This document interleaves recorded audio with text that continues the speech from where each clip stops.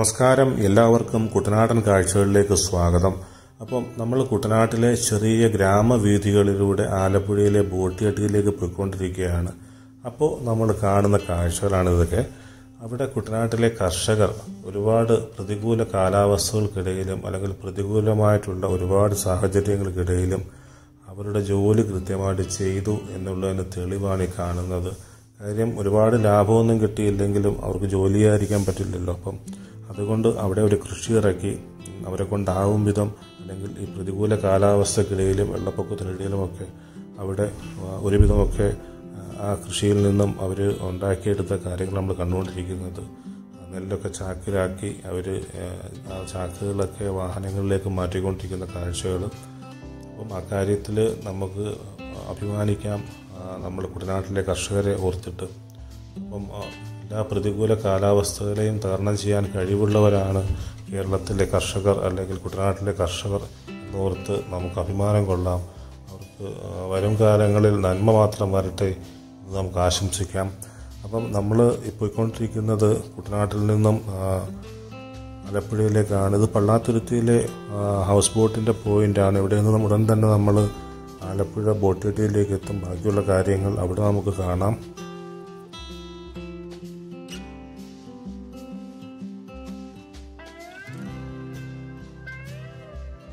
എല്ലാവർക്കും നമസ്കാരം. ഞാൻ ഇപ്പോൾ നിൽക്കുന്നത് ആലപ്പുഴ ബോട്ട് ചെട്ടിയിലാണ് അപ്പോൾ ഞങ്ങൾ ഇന്നൊരു ചെറിയ ചിക്കാർ വള്ളത്തിൽ ഒരു ചെറിയ ചെറിയ യാത്രയ്ക്ക് വേണ്ടി പോവുകയാണ്. അതായത് നമ്മളുടെ പുന്നമുടക്കായന്റെ കുഞ്ഞോളങ്ങളെ കീറി മുറിച്ചുകൊണ്ടുള്ള ഒരു ചെറിയ യാത്ര. അപ്പം ആ ശിക്കാർ വള്ളവും ആ യാത്രയും എങ്ങനെയൊക്കെയാണെന്ന് നമുക്കൊന്ന് കാണാം. അപ്പോൾ നമ്മൾ ഈ കാണുന്നതാണ് ആലപ്പുഴ ബോട്ട് ചെട്ടി അപ്പോൾ നമ്മൾ പോകുന്ന വള്ളമാണ് ചെറിയ ബോട്ടാണിത് ശിക്കാർ ബോട്ട്. അപ്പോൾ ഇതിനകത്താണ് നമ്മൾ പോകാൻ പോകുന്നത്. അവിടുന്ന് ആ വരുന്ന ചെറിയ വള്ളങ്ങളൊക്കെ കാണാം. അപ്പം നമുക്ക് പോകാനുള്ള വള്ളം ഇതാണ്. അതായത് ആൻസിമോൾ എന്ന് പറയുന്ന ചെറിയ വള്ളത്തിലാണ് നമ്മൾ പോകുന്നത്. സിക്കാർ വള്ളമാണ്. അപ്പോൾ നമ്മുടെ കൂടെ നമ്മളുടെ ചേട്ടനുണ്ട്. ചേട്ടന്റെ പേരെന്ന് പറഞ്ഞാട്ടെ? അശോകൻ. ചേട്ടനുണ്ട്. അശോകൻ ചേട്ടൻ നമുക്ക് വേണ്ടി എല്ലാ നിർദ്ദേശങ്ങളും തന്ന് നമ്മളോടൊപ്പം തന്നെ ഉണ്ടാവും. അപ്പോൾ നമുക്ക് യാത്ര തുടങ്ങാം. അപ്പം എല്ലാവർക്കും യാത്രയിലേക്ക് സ്വാഗതം. നമ്മളുടെ സാരഥിയും സഹായിയും ഒക്കെ ആയിട്ടുള്ള നമ്മുടെ ചേട്ടൻ പറയും. ചേട്ടൻ നമ്മൾ എങ്ങോട്ടാണ് പോകുന്നത് ഇപ്പോൾ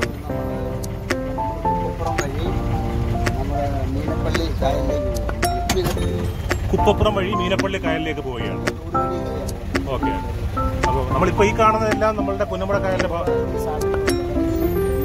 ഇതാണ് ഇപ്പം നമ്മൾ ഈ കാണുന്നതാണ് ശരിക്കും starting point sorry sorry finishing point അതായത് ഏറ്റവും കൂടുതൽ ഹൗസ് ബോട്ടുകൾ വരുന്ന അല്ലെങ്കിൽ ഹൗസ് ബോട്ടുകൾ സ്റ്റാർട്ട് ചെയ്യുന്ന സ്ഥലമാണ് പുന്നമട ഫിനിഷിംഗ് പോയിന്റ് എന്ന് പറയുന്നത്. പണ്ട് മുതലേ ഹൗസ് ബോട്ടുകൾക്ക് വേണ്ടിയിട്ട് ഇപ്പൊ നമുക്ക് ദൂരെ കാണാം ബനാന റൈഡ് കുറെ ആൾക്കാർ ബനാന ബോട്ട് വരുന്നുണ്ട്. കുറെ സോളോ ട്രാവലേഴ്സ് ഒക്കെ ആണെന്ന് തോന്നുന്നു. അല്ലെങ്കിൽ ഫോറിനേഴ്സ് ഒക്കെ ആയിരിക്കാം. അവർ ബനാന ബോട്ടിൽ റൈഡ് ചെയ്ത് വരുന്നുണ്ട്. അത് നമുക്ക് കാണാം. അത് ഫോറിനേഴ്സ് ആണ്. കാര്യം അത് അവർക്ക് ഹോട്ടൽസ് ഒക്കെ പാക്കേജ് കൊടുക്കുന്നതാണ്. അപ്പം അങ്ങനെ അവർ ബനാന റൈഡ് ഒക്കെ ഇവിടെ ചെയ്യുന്നുണ്ട്. പിന്നെ ആ കാണുന്നത് റമദ ഹോട്ടലാണ് നമുക്ക് കാണാൻ പറ്റുന്നത്?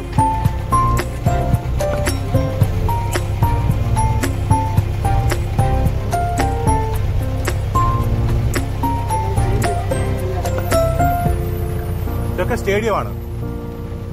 സ്റ്റേഡിയം മീൻസ് എന്ത് സ്റ്റേഡിയമാണ്?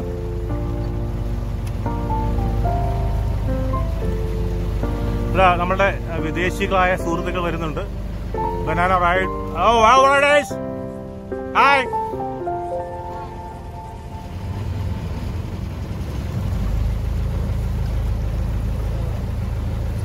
ഇത് ആണ് ശരിക്കും നമ്മുടെ നെഹ്റു പവലിയൻ നെഹ്റു ട്രോഫി വള്ളം വള്ളംകളി നടക്കുന്ന നെഹ്റു പവലിയൻ ഇതാണ്. ഇത് ശരിക്കും ഒരു ഐലൻഡ് ആണ്. അവിടെയാണ് നമ്മൾ ശരിക്കും ഈ പവലിയൻ ഉണ്ടാക്കി വെച്ചിരിക്കുന്നത്.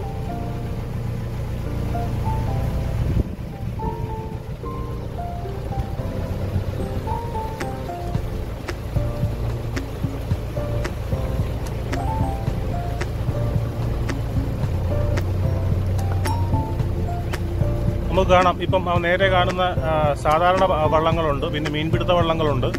അതുകൂടാതെ ഹൗസ് ബോട്ടുകൾ വലിയ ഹൗസ് ബോട്ടുകളുണ്ട് അത് മൂന്ന് ബെഡ്റൂമും രണ്ട് ബെഡ്റൂമും ഒരു ബെഡ്റൂമും ഒക്കെയുള്ള ഹൗസ് ബോട്ടുകളുണ്ട് പിന്നെ നമ്മളെ പോലെ ചെറിയ ശിക്കാർ വള്ളങ്ങളുണ്ട്. മോട്ടോർ ഘടിപ്പിച്ചതാണിത്. പിന്നെ അത് കൂടാതെ സാധാ ശിക്കാർ വള്ളങ്ങളുണ്ട്. പത്ത് ബെഡ്റൂം നമുക്ക് കണ്ട ചേട്ടൻ ഇപ്പോൾ കാണിച്ചു തന്ന ആ ഒരു വലിയ ഹൗസ് ബോട്ട് പത്ത് ബെഡ്റൂമാണ് നമുക്കത് കാണാം. ഏകദേശം ഒരു ഒരു വലിയ വീടിനെക്കോ വീടിനോളം വലിപ്പമുള്ള ആ ഒരു പിന്നെ ഹൗസ് ബോട്ട് ശരിക്കും പത്ത് ബെഡ്റൂമാണ് ഇത് എത്ര ബെഡ്റൂമാണ് ആ ഇതൊക്കെ രണ്ട് ബെഡ്റൂമിന്റെ ഹൗസ് ബോട്ടുകളാണ്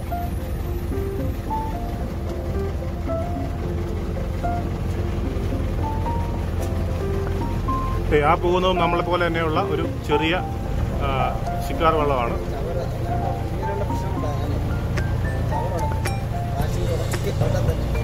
എങ്ങനെ പ്ലാസ്റ്റിക് ആ. ആ ആ ആ. ആ അത് ചേട്ടൻ പറയുന്ന പല ആൾക്കാരും ചെയ്യുന്ന കാര്യമാണ്. പല കാര്യം ഒരുപാട് ഒരുപ്പം തന്നെ നമുക്ക് കാണാം. പ്ലാസ്റ്റിക് കാണാം. അപ്പോൾ പ്ലാസ്റ്റിക് ഇപ്പോൾ ചേട്ടൻ പറഞ്ഞു ഇപ്പം അപ്പം നമ്മൾ ഈ പറഞ്ഞ കായലായാലും കടലായാലും ഇതെല്ലാം നമുക്ക് എന്നും വേണ്ടതാണ്. ഇപ്പം ചേട്ടൻ പറഞ്ഞതെന്ന് വെച്ച് കഴിഞ്ഞാൽ ഈ പ്ലാസ്റ്റിക് ഒക്കെ ഉടക്കുമ്പോൾ ചില ആൾക്കാർ അതെടുത്ത് കായലിൽ തന്നെ തള്ളിയിട്ട് പോകും. അപ്പോൾ അതിന് പകരം അതെടുത്ത് എവിടെയെങ്കിലും ഒരു ഡസ്റ്റ്ബിനിലേക്ക് മാറ്റി വെച്ചിട്ട് പുറത്ത് പോകുമ്പോൾ അത് ഡംപ് ചെയ്താൽ വളരെ നന്നായിരിക്കും? ചേട്ടാ ദൂരെ കാണുന്ന സംഭവം എന്താണ്? ദൂരെ അത് റിസോർട്ട് വല്ലതാണോ റിസോർട്ടാണ്. ഓ ഓക്കെ ലേക്ക് പാലസ് അതായത് നമ്മുടെ പിന്നെ ചാണ്ടി സാറിന്റെ. അതായത് നമ്മുടെ തോമസ് ചാണ്ടി സാറിന്റെ ലേക്ക് പാലസ് റിസോർട്ടാണ് ആ ദൂരെ കാണുന്നത്. അത് ശരിക്കും നിൽക്കുന്നത് ഐലൻഡിലാണോ നിൽക്കുന്നത് ഐലൻഡ് അല്ല. അല്ല ഓക്കെ ഈ രാജീവ് ജി എന്ന് പറഞ്ഞ ബോട്ടൊക്കെ എപ്പോഴും പുള്ളിയുടെ അതിലാണോ ഉള്ളത്? അതെ അതെ. പണ്ട് ഇന്ദിരാഗാന്ധി കേരളത്തിൽ വരുമ്പോൾ ഉപയോഗിച്ചിരുന്ന ബോട്ടായിരുന്നു രാജീവ് ജി എന്ന് പറഞ്ഞ ബോട്ട് ഇപ്പോഴും അദ്ദേഹത്തിന്റെ കയ്യിലാണ് അദ്ദേഹമാണ് അത് വില കൊടുത്ത് വാങ്ങി ഇപ്പോൾ അദ്ദേഹം സംരക്ഷിക്കുന്നുണ്ട് ആ ബോട്ട് അപ്പം അദ്ദേഹത്തിന് സ്വന്തമായിട്ടുള്ളതാണ് നമ്മൾ ആ ദൂരെ കാണുന്ന കെട്ടിടങ്ങൾ. അതായത് റിസോർട്ടാണ്. നമുക്ക് കാണാം. നമ്മൾ അത് അതുവഴി ഇറങ്ങിയല്ലേ പോന്നെ? അതിന്റെ ഫ്രണ്ടിൽ കൂടെ കറങ്ങിയാണ് നമ്മൾ പോകുന്നത്.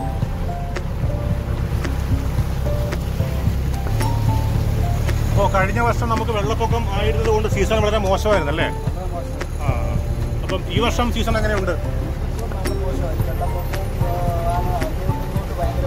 ആ വെള്ളപ്പൊക്കം വന്നതിന് ശേഷം ബുദ്ധിമുട്ടാണ്. കാര്യം പുറത്തുള്ള രാജ്യക്കാരെല്ലാം കേരളത്തിൽ വന്നു കഴിഞ്ഞാൽ ഫ്ലഡ് ആണ് അല്ലെങ്കിൽ പ്രത്യേകിച്ച് കുട്ടനാടിന് അല്ലെങ്കിൽ ആ.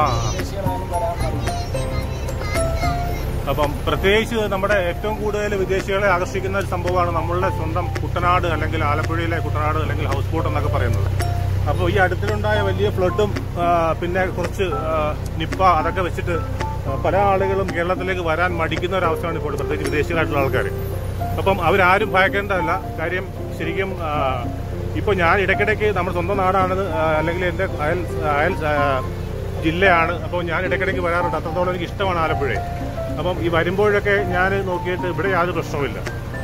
അപ്പം ഇത് പല ആൾക്കാരും സോഷ്യൽ മീഡിയയിലൂടെയും അല്ലെങ്കിൽ അവരവരുടെ താല്പര്യങ്ങൾക്ക് വേണ്ടിയും ഇതിനുവേണ്ടി ഇതിനെ നമ്മൾ എന്താ പറയുക നെഗറ്റീവ് കാണിക്കാൻ കുറേ ആൾക്കാരുണ്ട്.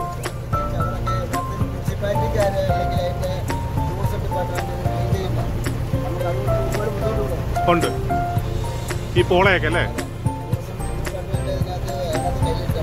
അതെ. അപ്പൊ ഇത് എത്ര എത്ര എത്ര നാൾ കൂടുമ്പോ ഇത് ക്ലീൻ ചെയ്യാറുണ്ട്? അതെ.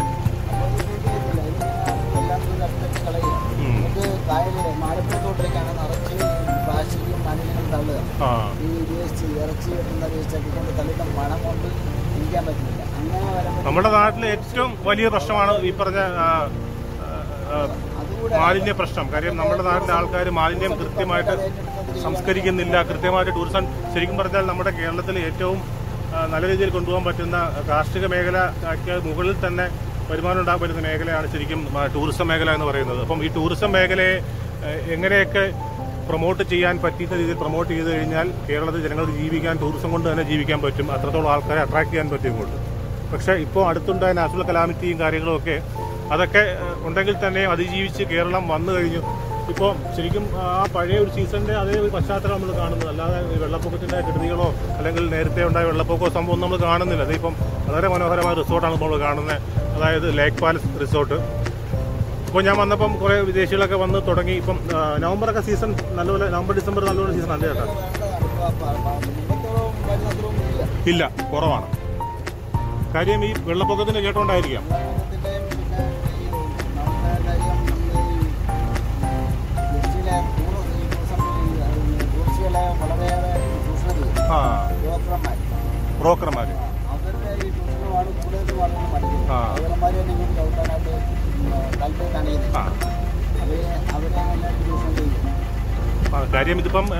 മേഖല ആകുമ്പോഴത്തേക്ക് അങ്ങനെ ഒരു ഇതുണ്ട്. അതിപ്പം ലോകത്ത് എല്ലാ സ്ഥലങ്ങളിലും ഉണ്ട്.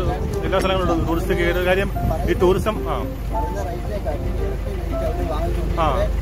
ആ അല്ല ഈ ടൂറിസം മേഖലയിൽ ഏകീകൃതമായിട്ടൊരു റേറ്റ് എനിക്ക് കാര്യം ഞാനും ഈ പറഞ്ഞ പോലെ ഒരുപാട് സ്ഥലങ്ങളിൽ പോയിട്ടുണ്ട്. അപ്പോൾ നമുക്ക് എല്ലായിടത്തും ഒരേ റേറ്റ് ഇത് ചെയ്യാൻ പറ്റത്തില്ല. കാര്യം വെച്ച് കഴിഞ്ഞാൽ ഇപ്പോൾ ഹോട്ടലായാലും ഇതായാലും കൊടുക്കുന്ന സൗകര്യം അനുസരിച്ച് ആ റേറ്റുകൾ ചില ആൾക്കാർ വാങ്ങും. പ്രത്യേകിച്ച് ടൂറിസം മേഖലയിൽ എന്ന് പറയുമ്പോഴത്തേക്ക് അത് പ്രത്യേക ബിസിനസ്സാണ് അതിപ്പോൾ എല്ലാ രാജ്യങ്ങളിലും ഈ ബ്രോക്കേഴ്സ് അല്ലെങ്കിൽ ഏജൻസ് ഉണ്ട്. അപ്പോൾ നമ്മൾ ഈ കാണുന്നത് ലേക്ക് പാലസ് റിസോർട്ടാണ് ലേക്ക് പാലസിന്റെ ചുറ്റും നമ്മൾ ചുറ്റുവട്ടത്ത് ഓടി ഓടിപ്പോയി അതായത് ഫ്രണ്ടിൽ കൂടി നമ്മൾ ഓടി പോയിക്കൊണ്ടിരിക്കുകയാണ്. ചുറ്റുവട്ടം കറങ്ങി നമ്മൾ തിരിച്ചു പോവുകയാണ്. ആ നമ്മൾ ഇപ്പൊ കണ്ടതാണ് രാജീവ് ജി ബോട്ടാണ് നമുക്ക് ഭാഗ്യമുണ്ട് നമ്മൾ പറഞ്ഞ രാജീവ് ജി ആണത്. അതായത് ഇന്ദിരാഗാന്ധി കേരളത്തിൽ വന്ന കാലത്ത് മുതൽ കാലത്ത് പോലും ഉപയോഗിച്ചിരുന്ന രാജീവ് ജി എന്ന ബോട്ട് ഈ ബോട്ട് ശരിക്കും ഇപ്പോൾ തോമസ് ആൻഡി സാർ വാങ്ങിച്ചിട്ട് അതിനെ ലേക്ക് പാലസിലേക്ക് വേണ്ടിയിട്ട് ഗസ്റ്റിന് വേണ്ടി ഉപയോഗിക്കുകയാണ്. ശരിക്കും വളരെ മനോഹരമായിട്ട് പുള്ളി അതിനെ സംരക്ഷിക്കുന്നുണ്ട്. നല്ല കാര്യം തന്നെയാണ്. ഇതാണ് നമ്മുടെ സ്വന്തം രാജീവ് ജി ബോട്ട്.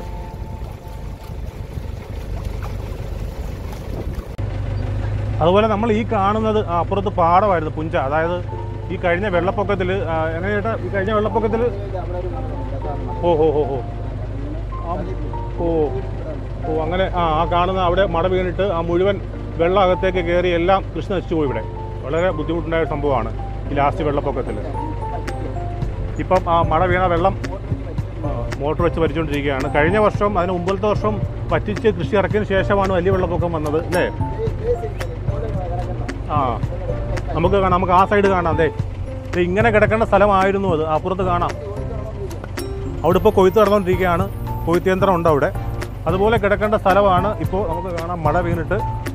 കാര്യം നമ്മളെല്ലാവരും കേൾക്കും കുട്ടനാട്ടിൽ മഴ വീണു കൃഷി നശിച്ചു എന്താണ് സംഭവം എന്നുള്ളത് ഇപ്പോൾ മനസ്സിലായല്ലോ. കാര്യം ഇത് അതുപോലെ നമുക്ക് ആ- കാണുന്ന കൃഷി സ്ഥലമുണ്ടല്ലോ നമുക്ക് കാണാം കണ്ടില്ലേ? അതുപോലെ കിടക്കേണ്ട ഒരു സ്ഥലമാണ് നമ്മളിപ്പോൾ ഈ ഓപ്പോസിറ്റ് ഭാഗത്ത് കാണുന്നത്. മഴ വീണിട്ട് വെള്ളം കയറി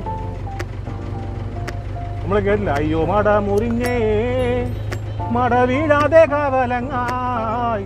ചുട്ടും തെളിച്ചൊരാൾ പടവരമ്പ് തുറക്കമില്ല ആറു മാസം നാടൻ പാടുണ്ടല്ലോ അതാണ് ഇങ്ങനെ മഴ മട വീഴാതിരിക്കാൻ കർഷകർ കാവലിരിക്കും എന്നാണ് പണ്ട് പഴമൊഴിക്കാർ പറയുന്നത്. കാര്യം അത്രത്തോളം അവർ കഷ്ടപ്പെട്ടിട്ടാണ് ഈ കൃഷി ഊണും ഉറക്കവും വിളച്ചിട്ടാണ് കൃഷി ചെയ്യുന്നത്.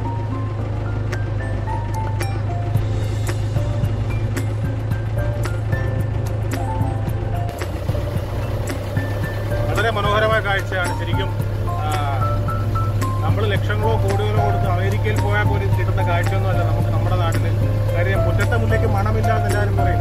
ശരി തന്നെയാണ് കാര്യം കാര്യം ഫോറിനേഴ്സ് അല്ലെങ്കിൽ നമ്മളുടെ പുറത്തുള്ള രാജ്യക്കാർ ഇതൊക്കെ കാണാൻ വേണ്ടിയിട്ട് നമ്മുടെ കപ്പയും മീനും കഴിക്കാൻ വേണ്ടി നമ്മൾ നമ്മൾ കെ എഫ് സി കഴിക്കാൻ വേണ്ടി പോവുകയാണ് ഇല്ല ചേട്ടാ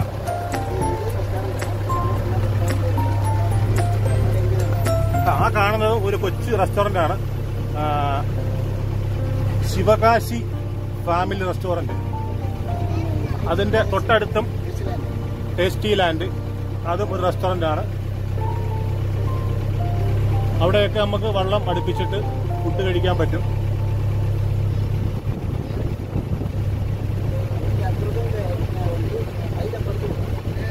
ഇപ്പോൾ നവംബർ മാസം ആയതുകൊണ്ട് വളരെ കുറച്ചാണെങ്കിൽ പോലും കുറച്ചൊക്കെ ടൂറിസ്റ്റുകൾ അതായത് ഫോറിനേഴ്സ് വരുന്നുണ്ട്. പിന്നെ നമുക്ക് നോർത്ത് ഇന്ത്യൻ നോർത്ത് ഇന്ത്യൻസിന്റെ വരവ് എങ്ങനെയുണ്ട് ചേട്ടാ ഇപ്പോൾ ഉണ്ട്. ടൂറിസ്റ്റ് കുറഞ്ഞു. കാര്യം അവർക്കിടയിൽ ഒരു അബദ്ധധാരണ ഉണ്ടായിട്ടുണ്ട്. കാര്യം കേരളം ഡേഞ്ചറസ് ആണ് എന്നുള്ള അല്ലെങ്കിൽ ഫ്ലഡഡ് ആണെന്നുള്ളൊരു അബദ്ധധാരണയുണ്ട്. പക്ഷെ ഒരിക്കലുമല്ല കാര്യം കേരളത്തിലെ ഇപ്രാവശ്യ സീസൺ വളരെ നല്ലതാണ്. രണ്ട് നിലയുള്ള ബോട്ടാണ് ഇപ്പോൾ വരുന്നത്. ആ രണ്ട് നിലയുള്ള അതായത് അതിന്റെ ആദ്യത്തെ നില രണ്ടാം നില കാണാം വലിയ ബോട്ടാണ്. അഞ്ച് അഞ്ച് മൊത്തം പത്ത് ബെഡ്റൂമോ ഓക്കെ ഓക്കെ ഓക്കെ. അഞ്ച് വലിയ മറ്റേ മുകളിൽ ഹാളാണല്ലേ?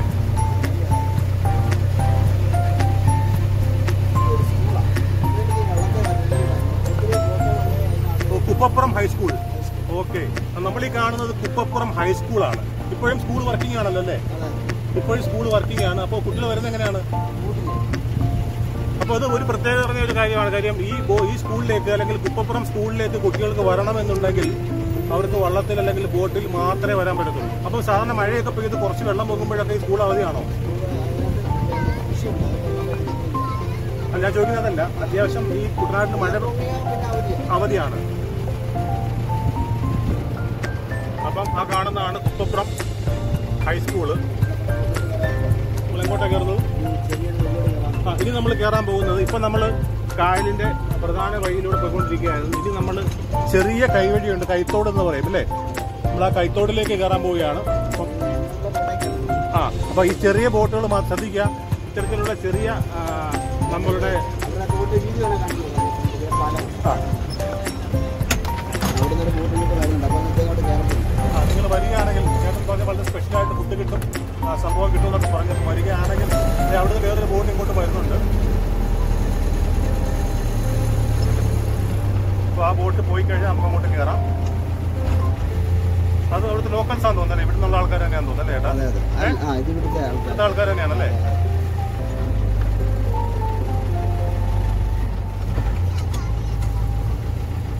നമുക്ക് കാണാൻ വളരെ ഇടുങ്ങിയ ഒരു വഴിയാണ്. അപ്പം അതിലെ കൂടെ ഈ ചെറിയ ബോട്ടുകൾ മാത്രമേ പോവുകയുള്ളൂ. ഫോൺ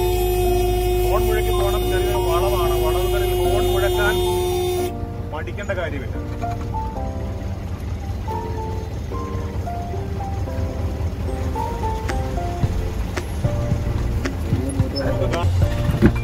അപ്പോൾ നമ്മളിപ്പോൾ നമ്മളുടെ സ്ഥലം എത്തിയിരിക്കുകയാണ്. നമ്മുടെ റെസ്റ്റോറന്റിന്റെ ഒരു കുഞ്ഞു സെറ്റപ്പാണ്. അമ്മൂസ് റെസ്റ്റോറന്റ് ഇത് കൈനഗരിയാണ്. കൃത്യമായിട്ട് പറയുകയാണെങ്കിൽ അവിടെ ഒരു തൊട്ടടുത്തൊരു ഓയോ ഹോം ഉണ്ട്. OYO home two four two nine six. ഇപ്പോൾ മാപ്പിൽ നോക്കിയാൽ അത് കിട്ടും നിങ്ങൾക്ക്. OYO home two four two nine six അല്ലെങ്കിൽ ഈ നമ്പറൊക്കെ നോക്കി നമുക്ക് പോകാം. അതിന് ഫോൺ നമ്പർ കൊടുത്തിട്ടില്ല. അതുകൊണ്ടാണ് നിങ്ങളെ കോൺടാക്ട് ചെയ്യുന്നത് ഓയോ ഹോം പിന്നെ നമ്മൾ വരികയാണെങ്കിൽ നമ്മളുടെ അശോകൻ ചേട്ടനുണ്ട്. പുള്ളിക്കാരൻ കൊണ്ടുവന്നുള്ളൂ നിങ്ങളെ. അപ്പോൾ അമ്മൂസ് റെസ്റ്റോറന്റിലേക്ക് നമ്മൾ പോവാം. ഓക്കെ അപ്പോൾ നമ്മൾ ഈ കാണുന്നതാണ് അമ്മൂസ് റെസ്റ്റോറന്റ് നാടൻ വിഭവങ്ങളെ കിട്ടും എന്നാണ് പറയുന്നത്. നമുക്കൊന്ന് പോയി നോക്കാം. അപ്പോൾ നമുക്കിതിന്റെ ബാക്കി ഭാഗങ്ങൾ അടുത്ത വീഡിയോയിൽ കാണാം. എല്ലാവരും എല്ലാ വീഡിയോയും കാണുക ഷെയർ ചെയ്യുക.